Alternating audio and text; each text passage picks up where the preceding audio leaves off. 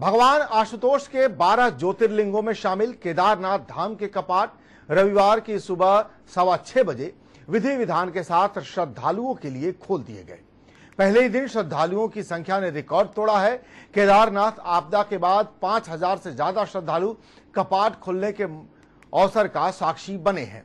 तड़के ही केदारनाथ धाम में बम बम भोले और बाबा केदार के जयकारे गूंज रहे हैं। रविवार को तड़के चार बजे मंदिर के कपाट खुलने की प्रक्रिया शुरू हुई। कपाट खुलने के समय बाएँ पट से उत्तराखंड के राज्यपाल के के पॉल ने सबसे पहले दर्शन किए। विधानसभा अध्यक्ष प्रेमचंद्र अग्रवाल भी इस मौके पर धाम में मौजूद रहे। उसके साथ आम श्रद्धालुओं के लिए कपाट खुल गए।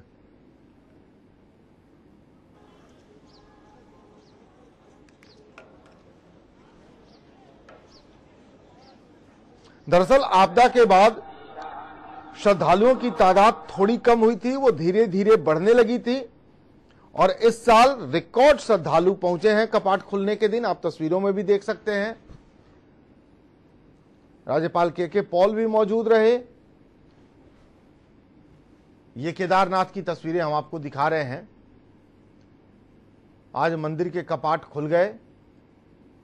केदारनाथ धाम के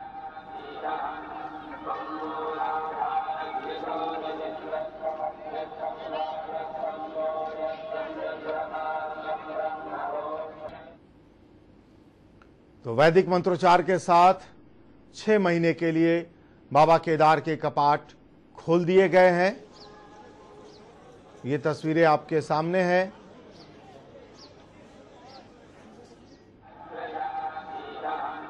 रोहित डिमरी हमारे सहयोगी फ़ोन लाइन पर हमारे साथ जुड़ गए हैं। रोहित, बड़ा ही भव्य आयोजन होता है जब केदार धाम का कपाट खुलता है। और आज आपने जैसा कि पहले बताया, हम दर्शकों को बता चुके हैं, आपसे जानकारी मिली कि रिकॉर्ड टूटा है। दर्शनार्थियों का बड़ी तादाद में दर्शनार्थी पहुँचे हैं। तो इसकी पहली वजह क्या समझ पा रहे हैं आप, बड़ी तादाद में दर्शनार्थियों के पहुँचने की?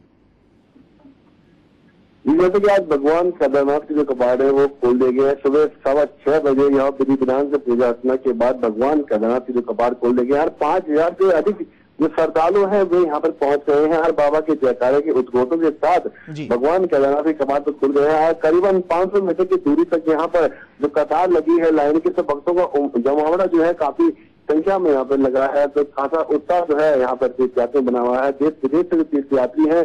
कल से धाम में पहुँचे हुए हैं। कुछ लोगों को गौरीकुंड और कुछ लोगों को निमचौली में रुकाया गया था जो सुबह ही प्रातः ही पाँच बजे केदारनाथ के लिए रवाना हो गए थे और बाबा के दरबार में खासी भीड़ यहाँ पर जुटी हुई है, जी। जी, मैं वही वजह जानना चाह रहा था, रोहित डिमरी की क्या वजह है? आपदा के बाद इस साल भीड़ बहुत ज़्यादा उमड़ी, इसके पीछे वजह क्या हो सकती है?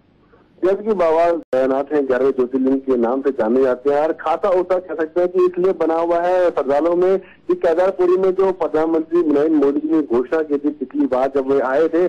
कपाट खुलने और बंद होने के अवसर पर तो उन्होंने घोषणा है यहाँ पर की थी कि जो मंदिर का नज़ारा है दिव्य दिखाई देगा 500 मीटर की दूरी से अन्य जो घाट निर्माण सुरक्षा दीवार है इस बार जो लेजर शो यहाँ पर किया गया है तो खास तौर पर लोग यहाँ पर देखने आए कि कुछ क्या कितना बदलाव जो केदारपुरी में हुआ है किस प्रकार से यहाँ पर जो प्रशासन शासन ने जो दावे किए थे कि इस प्रकार से केदारपुरी को बदला जाएगा तो यहाँ व्यवस्थाएँ जो है देखने के लिए यहाँ पर काफ़ी दूर दराज से देश विदेश से कुछ श्रद्धालु हैं, यहाँ पर पहुँचे हुए हैं। पाँच से सात हज़ार जो यात्री हैं, उनके रहने की, खाने की यहाँ पर व्यवस्थाएँ की गई हैं। आज आने वाले दिनों में जो यात्रियों का संख्या है, वह बढ़ने के आसार नज़र आ रहे हैं।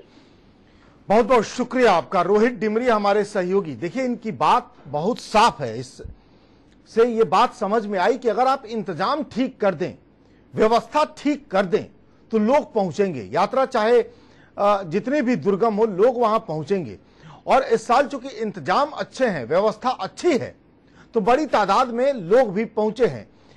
केदारनाथ या उसके आसपास के इलाकों में जीवन यापन का सबसे बड़ा ज़रिया ये पर्यटन ही है। केदारनाथ धाम के दर्शन करने जो पर्यटक जाते हैं, वो इस तादाद में जाते हैं कि वहाँ बसने वाले लोगों के एक साल का खर्च निकल जाता है। उनकी छोटी दुकानें हैं, रहने का इंतज़ाम है। चाय या समोसे की दुकान चला के ही वो अगर या कपड़ों की दुकान चलाकर ही, या माला किताबों की, धार्मिक किताबों की दुकान चलाते हैं तो उनके एक साल का खर्च यात्री निकाल देते हैं। तो निश्चित तौर पर अगर आप बेहतर इंतज़ाम करेंगे तो एक तो पर्यटकों के लिए वो काफ़ी सुविधाजनक स्थिति होगी और दूसरा वहाँ के बाशिंदों के रोज़गार में निश्चित तौर पर बढ़ोतरी होगी। तो बेहतर इंतज़ाम ने इस साल केदारधाम में भक्तों की तादाद बढ़ाई है।